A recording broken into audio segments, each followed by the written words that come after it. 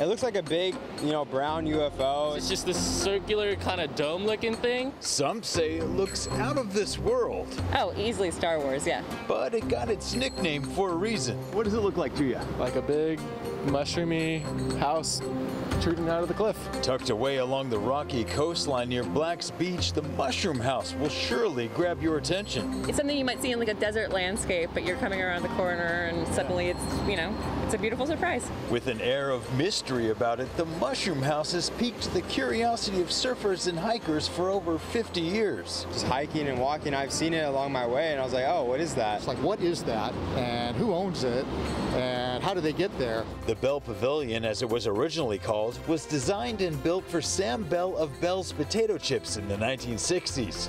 He already had a summer home on top of the cliffs and wanted a guest home built down below so visitors could have a 180 degree view of the ocean.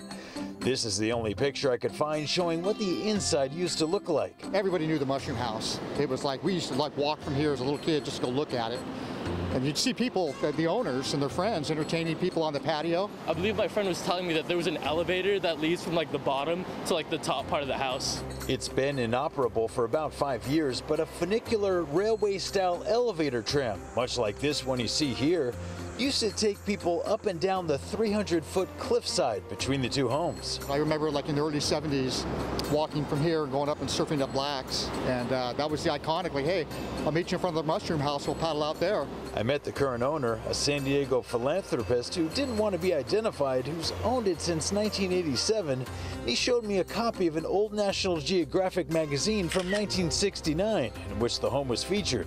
Sadly, he says it's been vandalized in recent years, making it difficult to maintain. Well, right now it looks like abandoned and kind of uh, decomposing a bit. Last time I walked by it, uh, the concrete was kind of spalling, probably from the weather. It was boarded up. Photographer Jay Erdman and I made the trek out there at low tide to get a glimpse for ourselves and fly the drone over this iconic landmark.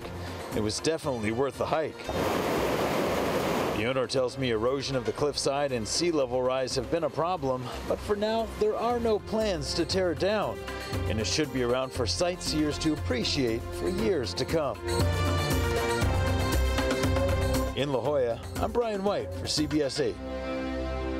Very interesting. Thanks so much, Brian. Now, CBS 8 did reach out to the La Jolla Historical Society. They say while the home is an iconic San Diego landmark, it is not currently considered historic. We're told to receive such a designation, it would need approval from the city's Historic Resources Board.